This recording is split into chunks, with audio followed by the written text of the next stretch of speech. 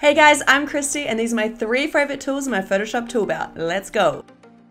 First up, we have the Quick Actions tool. This tool is a lifesaver for quickly removing backgrounds.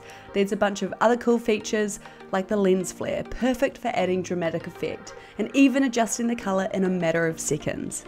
Next up, we have the Vanishing Point tool. This tool allows you to create perspective planes easily and quickly and allows you to snap images and objects to that exact perspective. Absolutely awesome for your mockups. And lastly, we've got the content aware feature. This is great for removing any unwanted elements in your photography, keeping those landscapes clean, crisp, and beautiful, just the way we like them.